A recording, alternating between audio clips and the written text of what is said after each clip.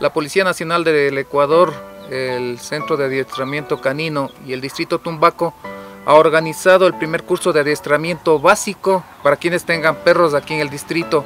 Están cordialmente invitados.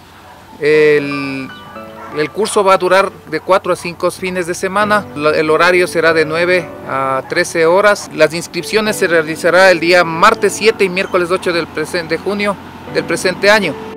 Como requisito indispensable es que el CAN esté presente para ver el temperamento del mismo, así como el carnet de vacunas actualizado, eh, la edad de 8 meses hasta 2 años.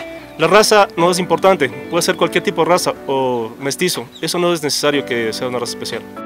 No hay raza mala, no hay can malo, todos los canes son susceptibles a, a los adiestramientos, solo debemos de pensar que nuestros canes pueden adaptarse a nosotros, a nuestras, a nuestras enseñanzas. Bueno, es importante recomendar a la ciudadanía que deben de primero tener paciencia, perseverancia y constancia.